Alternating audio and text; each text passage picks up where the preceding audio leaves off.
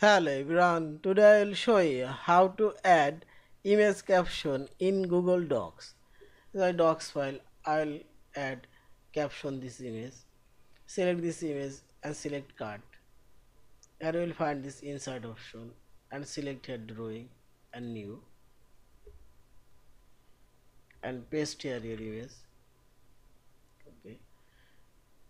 Now I'll add here caption select this text box go ahead. Type here green field move this.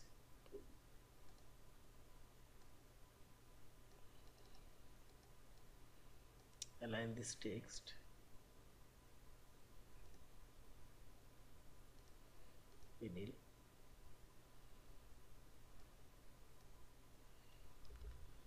now select save and close. And check this. Image caption already added. Yeah. In this way you can add all of this image caption.